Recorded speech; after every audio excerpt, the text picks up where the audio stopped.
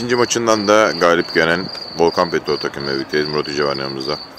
Klas bir maç yine galip geldiniz. İki maç üst üste galibiyet puanlar. Neler düşünüyorsun Hoca? Evet güzel maç oldu. Ee, iki maç üst üste e, iki maçı da kazandık.